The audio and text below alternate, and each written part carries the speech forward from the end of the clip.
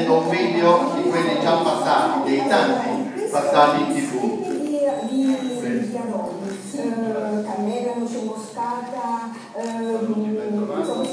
Diamo subito la parola al sindaco.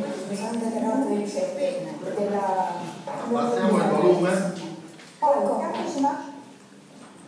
Il tempo di prendere fiato, sindaco. Intanto alle prese con i dolci da un lato e alle con il territorio e la struttura del territorio. Il libro te lo metto davanti così giusto come accenno per sapere, per guardarlo.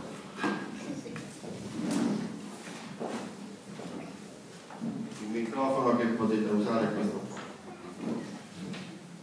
È un buonasera a tutti, scusate il ritardo, ma ci tenevo a esserci eh, perché quando si tratta di eh, una cittadina della penisola che dedica la sua vita alla, alla scoperta delle nostre tradizioni e lo fa in maniera egregia, portando anche diciamo, il piano di Sorrento, la penisola tutta, all'attenzione nazionale con le sue opere.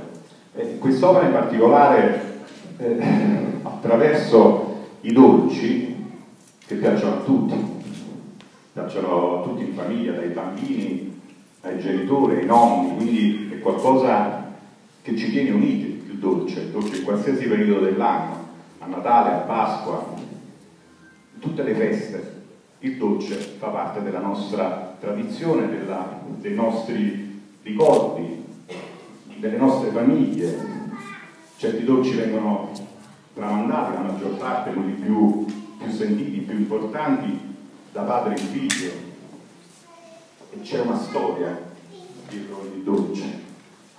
Questi sentimenti, perché poi si parla anche di sentimenti, nelle ricette ci sono dei sentimenti, e vengono trasmessi veramente col cuore da, da Maria Grazia. Quindi io veramente la ringrazio uh, a nome di, di tutti i carottesi, tutta l'amministrazione comunale per questo suo impegno, questo, questa sua passione, che la, devo dire la verità la trasmette un po' a tutti. Ho fatto leggere a mia moglie, devo dire la verità, è rimasta veramente contentissima e che non è bravissima a fare dolci, si è messa a fare già qualche cosa.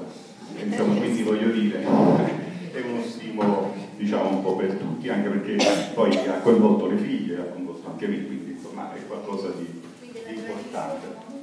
Eh sì, continua, perché ripeto, non è solo il fatto di fare il dolce, ma il fatto di stare insieme nel fare il dolce. Penso che questo è il messaggio che vuoi dare con, con questa tua opera. Quindi io veramente ti ringrazio di essere qui.